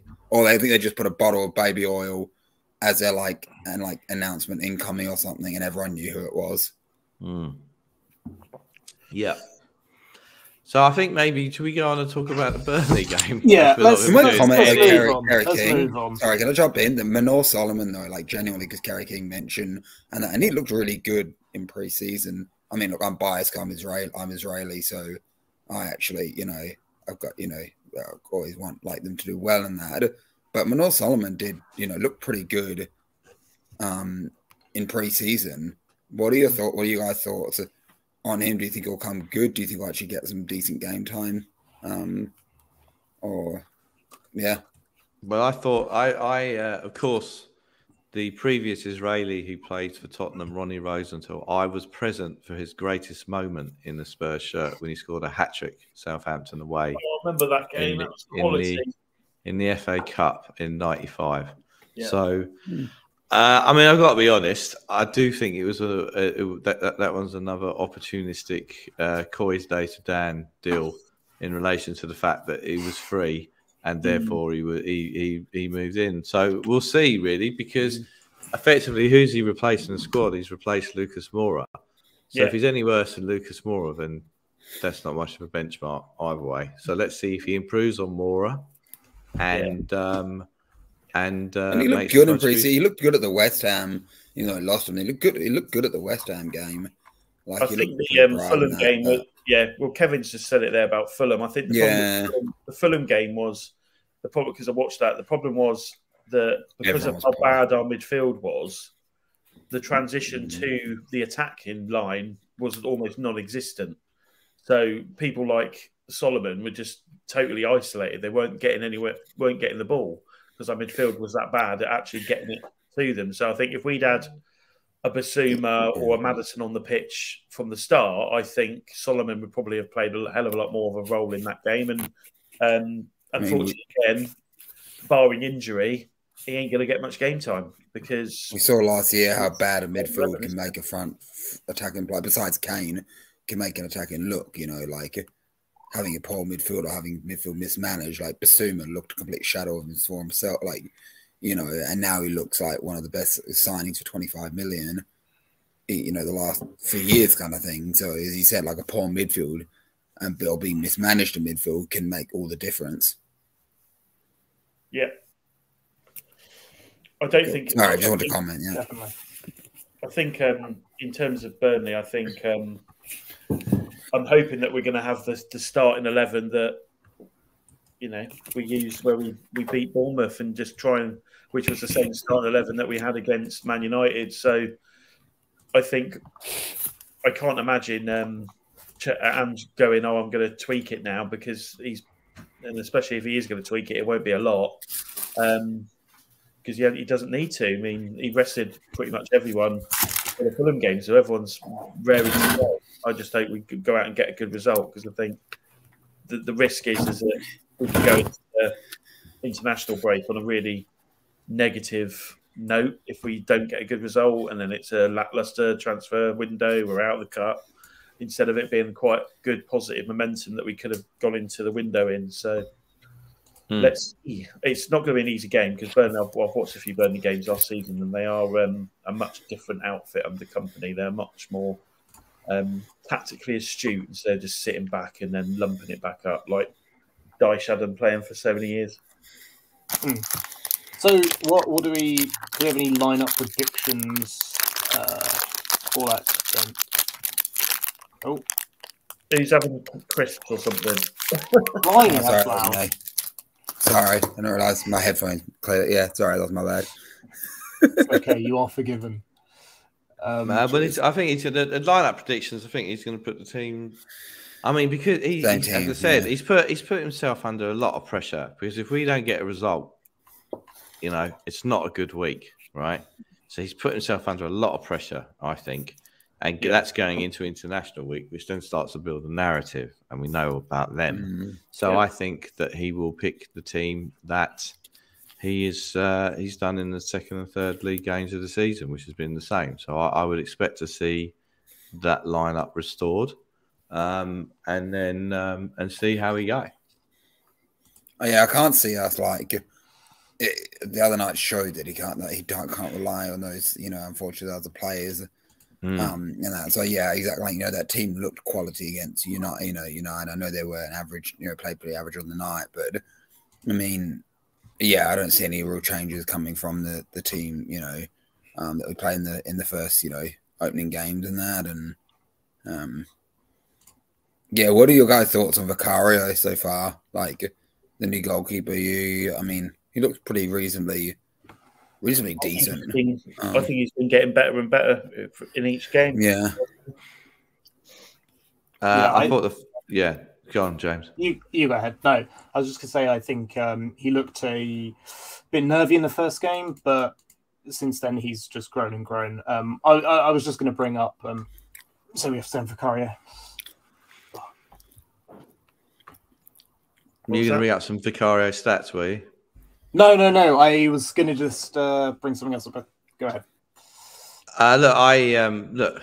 The thing about Vicario is this: I felt at the time we should have just paid Brentford the money and bought in Raya, because at the time you know that Raya has been an established Premier League keeper for a couple of years. He counts as homegrown, um, and you know as, as if we are, you know, as we're in the top 10 most richest clubs in the world, to put the money, you know, they wanted 40 million one year left. And in the what was the deal that they did in the end? I think they're doing some kind of loan obligation to pay. Yeah. So I, I was in like Avocaro. Yeah. So. Yeah. So with Raya, I would have got in Raya. And they got in Vicario. I thought uh, the West Ham friendly, I thought he looked a bit shaky. Uh, I thought yeah. that the first game of the season, he looked a bit shaky. And that YouTube clip that they show the triple save all the time is that the first save, he just parried it straight back into the danger area. And I thought, you know, that's not so good. But I have to say, um, against United um, and against Bournemouth, I thought he was solid. Uh, he is obviously better with the ball at his feet than Lloris, but that's not hard. So, mm. so far, I would say, uh, yeah, he's looking all right.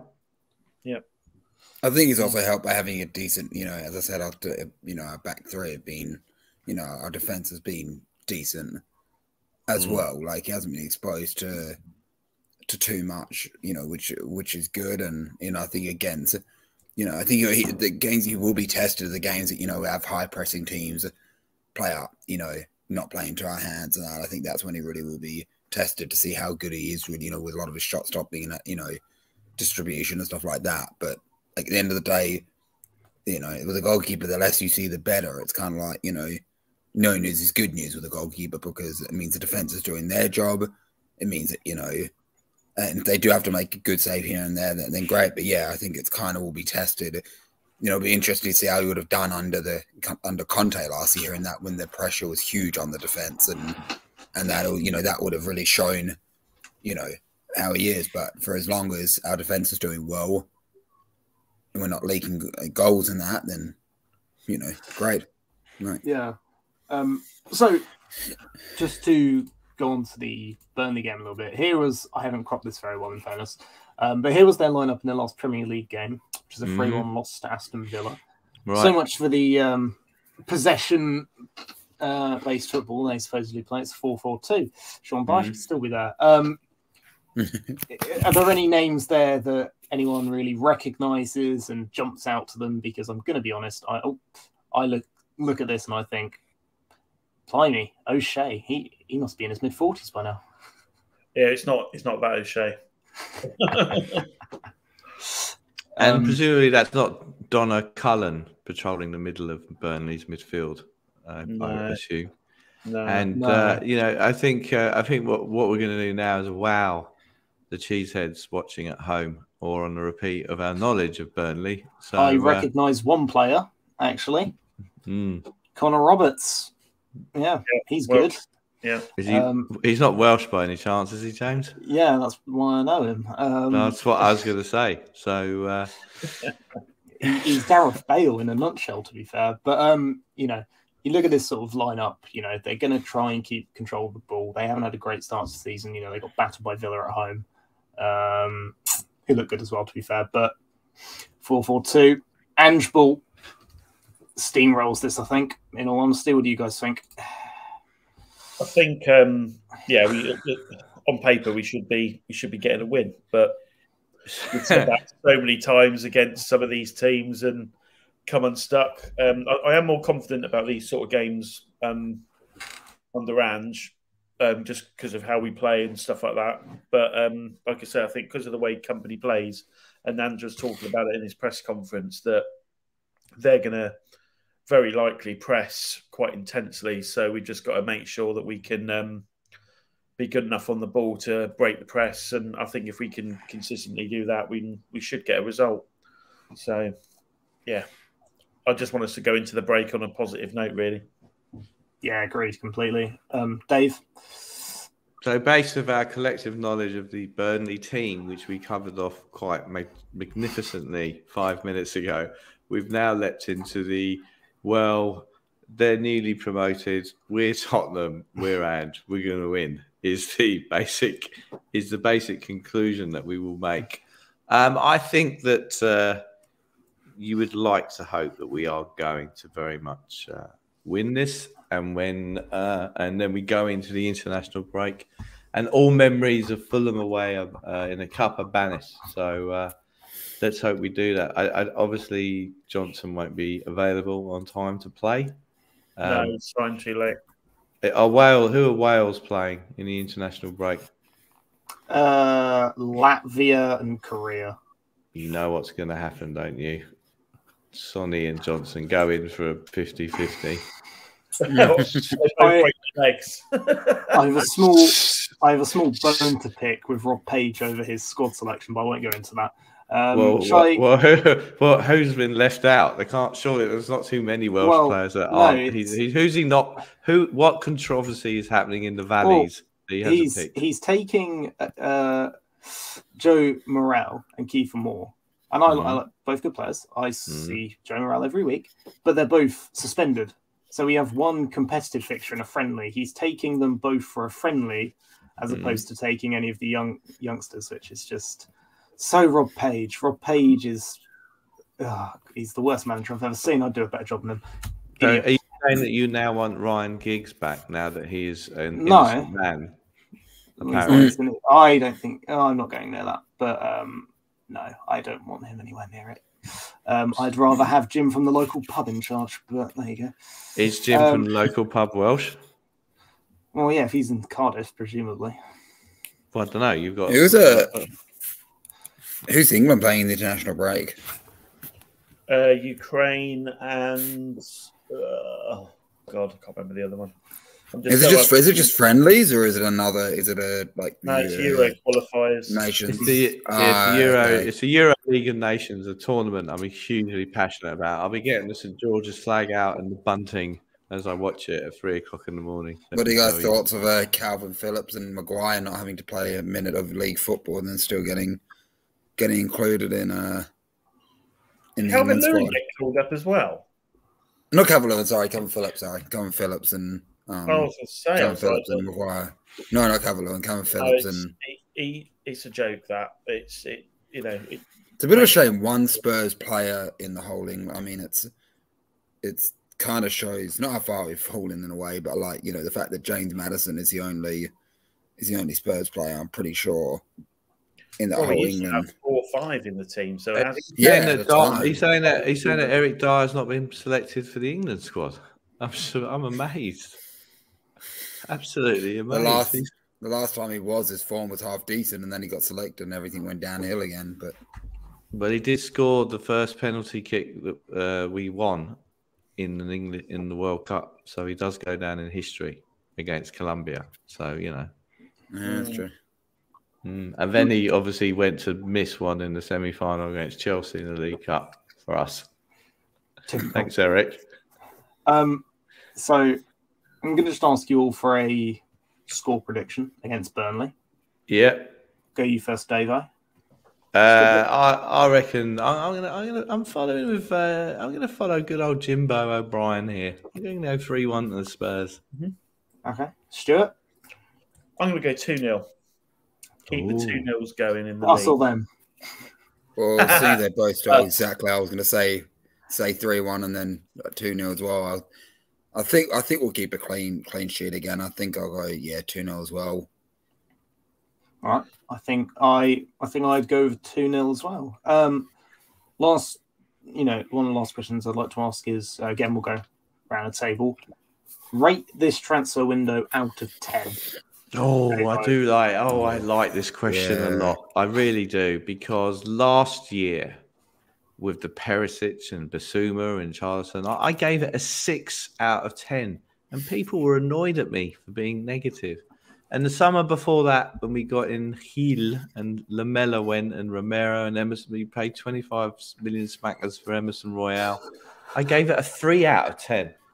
So logically, by mathematical intervals, I should give this a nine out of ten, or do I bring it back down to a three out of ten? And I would say the fact that we haven't got a centre half and two centre halves, and the fact that we really haven't got a central striker, I'm going to give it a four and a half out of ten for this window. Okay. Classically optimistic of you, Dave. Um, Stuart, what's your rating? Um, so uh, I've just read that Lloris is, uh, has said no to Nice. Um, and What? God. Yeah. And apparently, Really? um, Ange has already told him he's not going to get registered, and Lloris is okay with that. which tells you everything about where we're at with some of these players now. They're just sitting on their contracts. Um, I think going through the list of the incomings, Vicario, Maddison, Van der Ven, Solomon, Veliz, Phillips, and now Johnson. I, I'm ignoring Kulusevski and Porro because they've, they've obviously already played. It's just making them permanent. Mm. Uh, if you ch- chucked in a Gift Orban and a sent another centre back in there, like another senior centre back, Mm. I probably because we've lost Kane, I probably would have lost put that down at a seven or something. But without Mhm. those two there, I'm probably going to have to go with a five at the moment. So you're just a point five ahead of me, and I'm Yeah. the one tarnished with the brush of negativity and grumpiness. Come You're, on. you're you're you're infecting me with your negativity. it- it's your legacy. Just live up to it.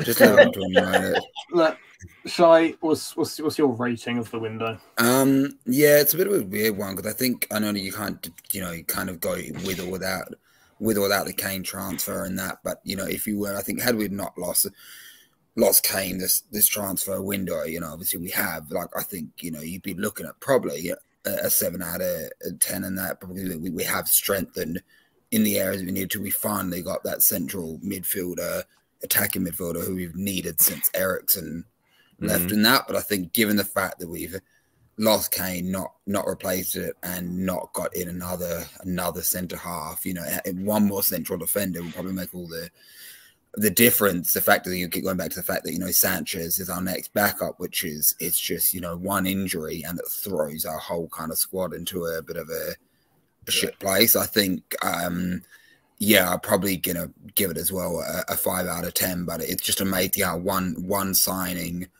you know, one signing more, one signing less can take that from like five to a seven or eight. Because yeah, with not of selling Kane, having not sold Kane, and we got Maddison in, you know, Kane would get like forty goals this season. You know, with, with that, and that makes all all the difference. And then getting one central defender. Have we have an injury? Sanchez is well out of the picture. Um, Yeah, just one signing just changes everything, everything, which is which is Yeah. crazy. So Um, James, James, we've got we've had two fives and one four point five. Where are you going?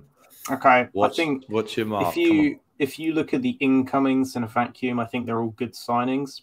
But and this is a but bigger than Hoover Dam.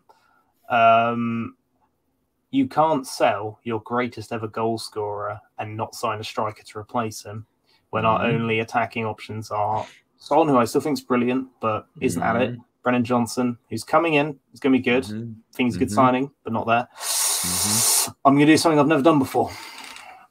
I'm going to agree with you, Dave. Like 4.5. Well, there we go. There we go. No. guys. do it.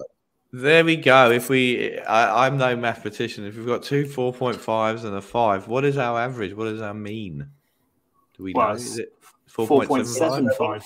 There we go. Mm. It's the the the tra- transfer deadline show as it moves towards the end. We have collectively given it a four point seven. Okay, I'm gonna ask. I'm gonna ask something as well. Let's say we do make it, and it's just a throw. We've still got technical time with it. We make a lot in a, a last minute deadline. You know, transfer of a central defender. What Mm. would everyone's rating like? Right, you know, we announced Tapsoba as Kerry King. Well, you know, so maybe just been kidnapped, and you know, we're waiting for that announcement. Mhm. Um, if we do get a central defender, and what would everyone's rating go up to out of out of ten from what it is now? Good Got one central defender. Dave? Uh, what what am I at? 4.5. Yeah. Uh, all right. Well, look, it's okay. I mean, it's not going to happen. But if it was like Clement Lenglet on loan, I'd go four point five to three. So, um, so, I if we got Harry Maguire on loan, I'd go four point five to four point two five. so let's say it is Tapsoba. We get him in. I, I'm going to be generous. I'm going to go four point five to five point two five. Uh, So there you Uh, go. Stuart? Um, I'm going to go a little bit more in the realms of reality in terms of we get some free agent centre back who's available that's semi decent as a backup. Um, I'd go. Who for, is this mythical character out there? No idea. No idea. Um, I'd go from probably a five to a six because ultimately we've not got another really solid centre back in. It'll be So you're, t- you're t- so just to be clear, you're saying to me, if we get a free agent centre back, who clearly no one wants, you're going to go up from five to six. That's interesting. yeah, because we've got the we've got the body in the door. it can't We've be got, much but that's the problem. Sanchez We've got a lot. We've got a lot of bodies. We've got more that's why not bodies gonna than sign a one. serious. That's We've the got more bodies. We're not going to Yeah, sign well, anyone well, because we couldn't get them out. all right. Well, Mm. so there we go. Right. Shy, what's your conclusion? Yeah, I think I'd be the same as well. I'd probably go up to, you know, like I, again, I don't want to knock bash on Sanchez, Dora, and that with it because it's just a, sh- you know, it's shame with it. But I think at the end of the day, if we did, you know, hopefully we couldn't get someone who, you know, put in a much worse performance, unfortunately, that he, that he has. So I think that we'd, I'd probably go up to a to a six. I think obviously with someone half decent, and we made some sort of, you know, Tapsoba announcement, or or you know, someone half probably got up to a seven because I think it really does shift that, you know, that that one injury making the difference. But yeah, so six if it's someone like a free agent, seven if it's someone who's a, a bit more hard, you know, that that's a bit more known and, and half decent. Yeah, I uh, for, me the big issue is not bringing a striker. I mean, if you if we turn around and got Mick Orban, Orban, then I go up right. I go up to maybe a six point five, nearly a seven, because that's exciting. That excites me. That's a striker. He scores loads of goals. Um, that's the issue for me. Okay, cool. We get another centre back in. Even if it's over, I go up a bit, maybe two or five, because that's positive. But the issue is we still haven't replaced or attempted to replace our greatest ever goal scorer. You can't replace Harry. You know, you what's the point of adding some sparkles to the bonnet of your car if you've taken the engine out? Um, right. And that that's that's my takeaway from this. But um, you know, we've been going for an hour and forty-five. Um, thank you, Davo, for coming on, despite it being very early.